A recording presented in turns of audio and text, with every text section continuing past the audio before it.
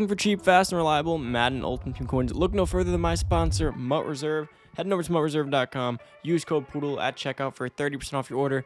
Take advantage, guys. Do not waste your money on packs. Skip the packs. Head on over. Pick up some coins. Enjoy. What's going on, everybody? It's Poodle back with another Madden Ultimate Team video, guys. And today, I'm going to be going over the best players at each position in Madden 21, guys.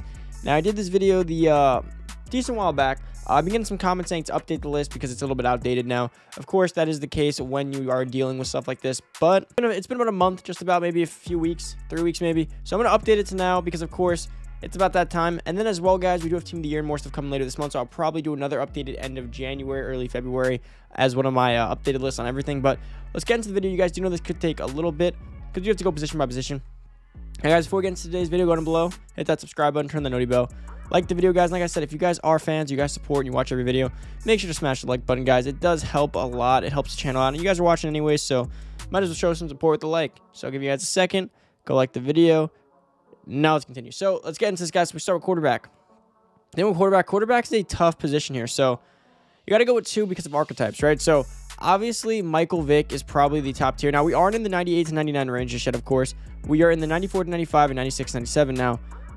Josh Allen would have been a really good option had he gotten hot route master, which I believe he does not. Uh, of course, it's Mahomes and a few other guys, but for the time being, we're probably rocking with the two we've been rocking with Rich Gannon and Michael Vick. Now, personally, it all comes down. If you guys are a big ability guys, you may want to go Rich Gannon possibly. Um, you know, AP and all those reasons, but I personally think that Michael Vick's the best option. He gets all the thresholds you're gonna what you're gonna want. Uh, you power him up, chem him up, of course, and he can run and kill people with his legs as well. I personally love Michael Vick as my go-to option, but if you're going to be a more pocket passer heavy kind of guy who wants to focus on certain abilities and so on and so forth, Rich Gannon could be your guy as well. But he's uh, decent enough speed to still be used. Now, halfback. Halfback's interesting because I do think that Bo might keep this thrush, uh, this throne for a little bit longer, just because of the fact that, of course, we aren't going to be getting like we're getting Team of the Year soon. Now, Team of the Year is going to be a little bit weird, considering the fact that they may get, they're going to get modern day running backs, and like guys like Chubb won't get more speed. Now it comes down to probably Bo Jackson, Arian Foster. Now, if you want to compare the two, right? Bo's gonna have the threat. Bo's gonna have the speed, right? 96 speed, 97 excel, 95 change of direction, 95 break tackle. Those, that's what matters right there. Now, if we go compare it to some other guys, like Arian Foster, I actually I'm a big Arian Foster fan in this game. I feel like this Arian Foster card is super OP. You compare it, Bo has him on speed, right? Bo has him on speed. That's that's a fact right now.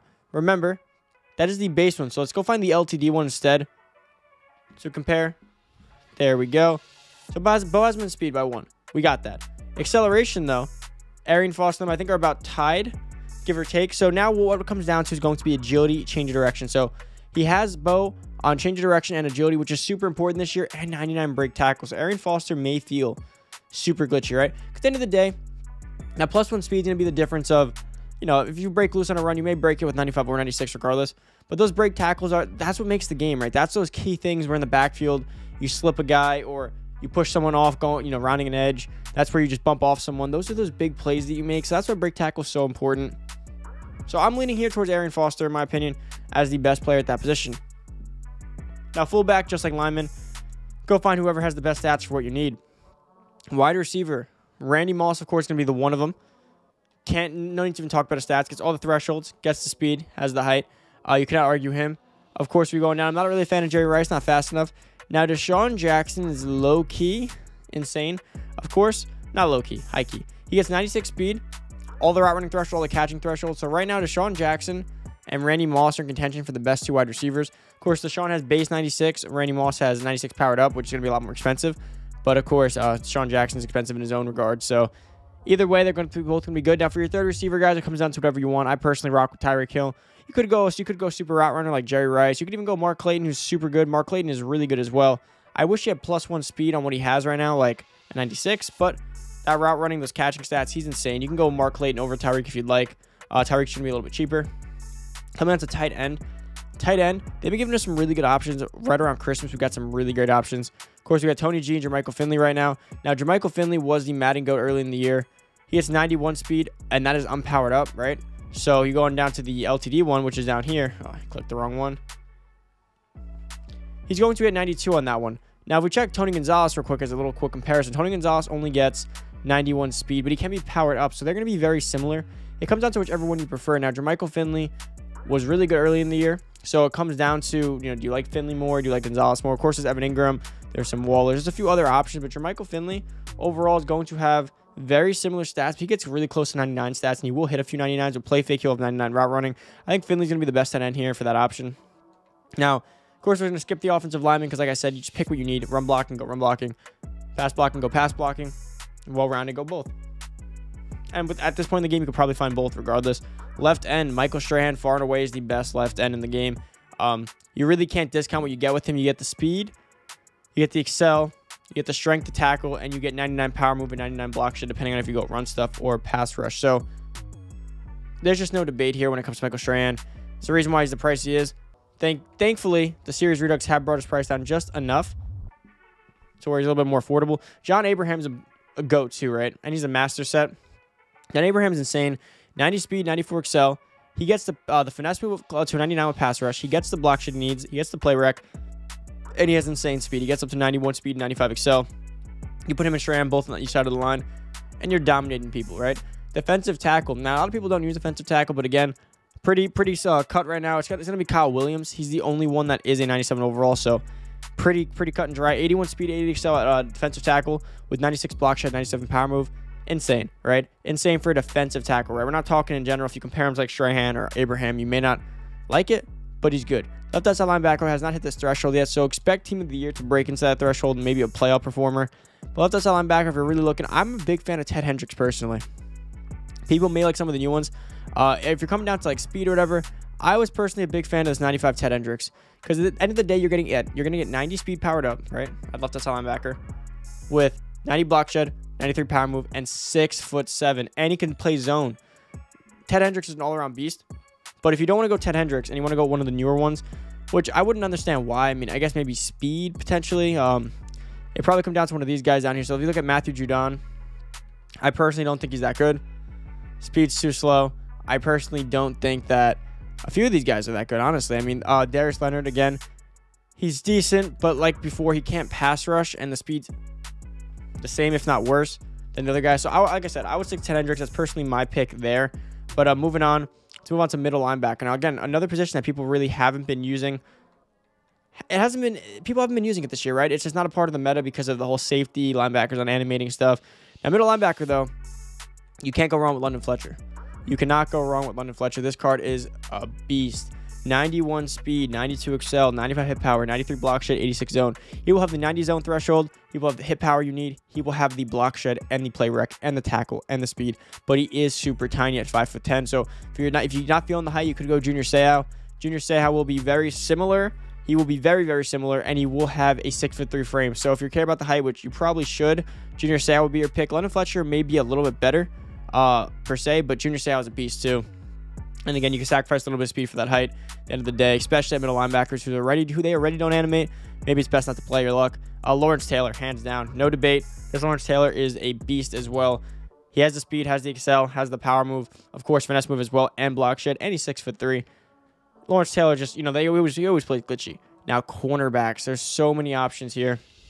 The cornerbacks these days. Uh, cornerbacks, we have Troy Vincent again. Wouldn't be my pick as my first. We got Rod Woodson. We got Deion Sanders. We got L'Jarius Sneed. We got Richard Sherman. So starting off, guys, Deion Sanders is a must. You always got to have him on your team, regardless of his press, guys. Uh, it will get to 90, I believe, now, so that's fine. You will get the 90 press threshold now, which is exactly what you need. With 99 man, 99 zone, and 99 play rec, I believe, and he will get 97 speed, 97 excel, and he's six feet tall with high jumping and high agility. And he can be a kick returner, and he can return the ball. Too much versatility. You got to have Deion in there. Slot him in next. As you guys see, L'Jarius Sneed and Richard Sherman. Now, L'Jarius Sneed's going to be my pick here as well. He's insane. You're going to be getting a 96 speed corner with 99 press, 99 zone, and 99 man coverage. Not many corners get all three of those 99, if all, if any. And you're also going to be getting the speed. Now, if play rec does go up by five, I'm not entirely sure you will get 99 play rec as well. And he's six foot one. He's going to be Deion Sanders, borderline Deion Sanders athletic. Uh, not as much, you know, like a light version. But he will get the straight line speed, he'll get the straight line coverage, and he will get crazy, crazy coverage. And you could you could press him. You could press anyone in the game with him as long as the game's not going to be, you know, mad and broken, which it can be at times. And now Sherman's iffy. So I don't know how I feel about Sherman yet. Now, I personally think that he has a lot of potential. Because if you power up and chem him up, you're getting you're getting 94 speed, right? 94 excel. He's he's two speed short of the other guys, but he will get 99 zone, 99 press, like 97 man. But he's six foot three, and if you guys know anything about Sherman cards, they play good. 97 jumping. He will get 98 jumping, right? That's great. And it, depending on what uh, physical you use, you may even get that to 99 jumping. He may have 99 jumping, 99 zone, 99 press, and he may very well have, well, he does have a six foot three frame. So if you guys have ever used Sherman like at the beginning of the year, you could have Tyreek killing him and you burn him and like you burn him by like a foot and you throw it and Sherman can go up and sometimes still pick it. You have a guy by like, you know, five feet, you beat him off the line. Sherman can go up and pick it. That height can be a difference. Depending on the scheme you play, he could be worth it. Like if you play a straight zone scheme, I think Sherman is one of the best cornerbacks in the game, right? Because if you play zone, the speed won't matter as much. But if you're a man-heavy scheme, you may feel it a little bit more. Maybe put him on the slowest receiver. But at this point in the year, um, slowest receiver is still like 95, 96 on most teams. So I don't know exactly the route to take there. But again, Sherman is a he's a uh, dark horse there. If you happen to play the right scheme for him, he could play probably as one of the best corners in one of those schemes. Next, you got free safety. Free safety. Eric Weddle is low key a beast as well. Like in past years, the thing is, I've been playing Madden for a while. So when I say a guy like Eric Weddle, I assume slow old safety. But this is a legend version. He looks a lot like Keenan Allen in the bottom picture. This is a legend version, so he's going to have his speed. 94 speed's great. 94 excel is great. 96 zone's great. 90 hit power. Now, if we compare him to some of the lower guys, right? If you're going pure speed and height, or, you know, in that aspect, you want to take it down to the over here somewhere. And you want to check out what you have here because we have a few guys here who are pretty good. Now, come on down to Calvin. Like, if you just want the height, that's really all you care about. You can go take Calvin. You're going to lose some speed, but you get the six foot five frame. It, like, again, if you play in a zone scheme, you may not even care. But Calvin versus Eric Weddle would be just a speed debate, uh, not a speed debate, a height debate. And then if you want that, Sean Taylor, you take the same speed as uh, Eric Weddle because you're going to power him up. You get that 95 power, 93 zone. Like I said, I would probably rock with Eric Weddle. I'd play it safe, take the high overall, rock with it. You're able to get a 95 overall player, or sorry, 96 overall player, or 97 depending. And 97 is practically end game at that point. And he's going to get the speed. He's going to get better zone the most with every threshold they're going to want. 5'11 though, so if height's a big deal to you there, you're going to have to stay clear of Eric Weddle. But otherwise, I like him for the spot. And then strong safety. Strong safety, we're waiting for a few more upgrades here because, of course, we don't have any 96, 97s. So you got to take it down. Now, of course, you could rock one of those other ones. I'm a big guy. I'm a big fan of Isaiah Simmons. I think Isaiah Simmons is the move here, regardless of what you uh, what you prefer. You really can't go wrong with a 95 speed safety, 94 excel, 89 man, 95 zone, 95 hit power. He will have 99 zone power, uh, zone coverage. He will have 95 hit power, and he will have a six foot four frame. You just can't. You can't debate that. He's six foot four. Put him at linebacker. User him. Put him at uh, big nickel. Put him as uh, you know the nickel corner. User him. Put him deep, deep safety. User him. Put him any of those places and don't user him. He's going to be a monster. I love Isaiah Simmons. He's one of the only guys this year with his rookie in this one that can outlast their value. Like he can be on your team for quite a while and still make an impact. But guys, that pretty much does wrap up the video. Hopefully you guys enjoyed. You know, I know people might comment about punchers and kickers. Uh, get the one with the high kick power. That usually works. But thank you so much for watching. Hopefully you guys did enjoy if you're new to the channel. Subscribe, turn on the notification bell, like the video, comment down below. Let me know what's going on. Thank you guys for watching. I'm out. Smash the like button. MUT Reserve, 30% off. Peace.